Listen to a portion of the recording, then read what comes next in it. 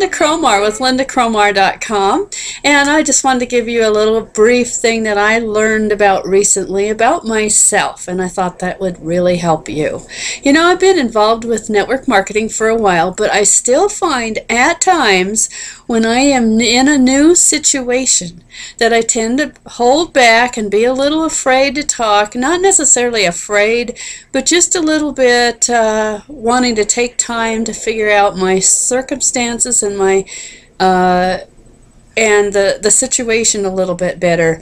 I think that somewhat comes along with my personality, but it's also a little bit about being afraid to be foolish. Now, I know that a lot of people don't have this problem, and that is people that are pretty outgoing and they're very friendly. And sometimes I'm not always that way. Sometimes I like to take a little more time to get to know people. But I saw an article today that kind of spurred this for me, and it is okay to be a listener. It's okay to not necessarily have to uh, be so bubbly and so ready to talk all the time. And maybe you are, if you take the time instead to just listen to people, you can gather enough information about somebody to feel like you can intellig- intelligently add to the conversation.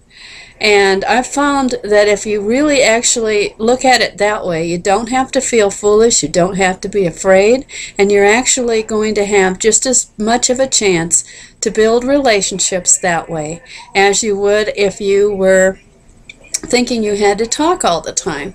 In fact, I have found that sometimes you can be in a hurry to say things and you might actually say the wrong thing. And it's even easier to say the right thing if you give that yourself a chance to listen first, even ask questions first, and learn more about that person. And when you can do that, you can actually build a better, quicker relationship than if you're quick to tell everybody all about you first. Now, I know it's really uh, one of the things that we really are taught to do is to tell all about ourselves. And have you ever been in a conversation where somebody is asking you questions and wanting to know more about you? Doesn't that make you usually feel really good when someone has that kind of interest in you?